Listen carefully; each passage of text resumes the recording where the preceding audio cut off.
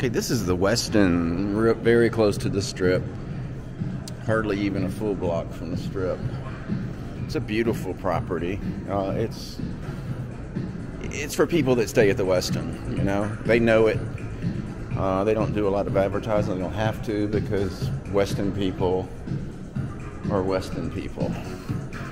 It's not cheap, but it's a hundred percent non-smoking.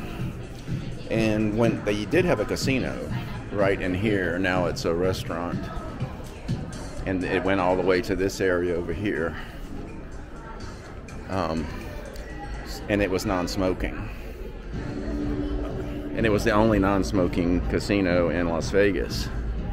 I think it dismantled its casino before MGM, Park MGM was changed over from the Monte Carlo. So um, it was there was a brief time where there was no non-smoking casino all over Vegas.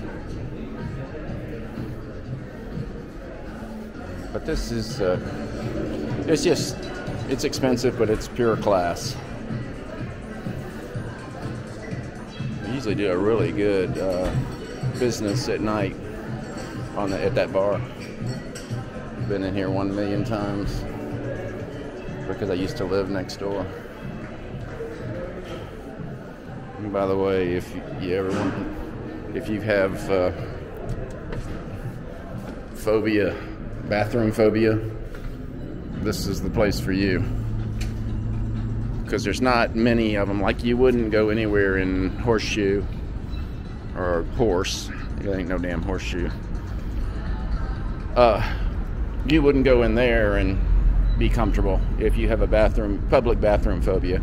But if you come over here, yeah, you might be in there a long time because it's that nice.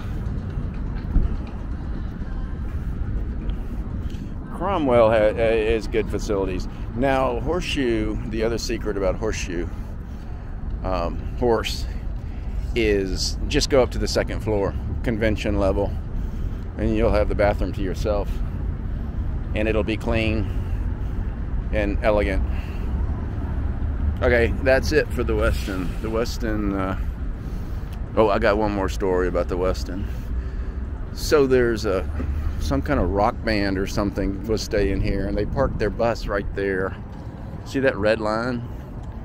I'm a big stickler for people not parking on that red line. There's a few things I don't like, and it's people that are parking in a fire zone because that could, you know, affect firefighters. And I'm very close to the firefighters. So I called the um, firefighters and said they or Westin is allowing this bus to park there like three times a week in the fire zone.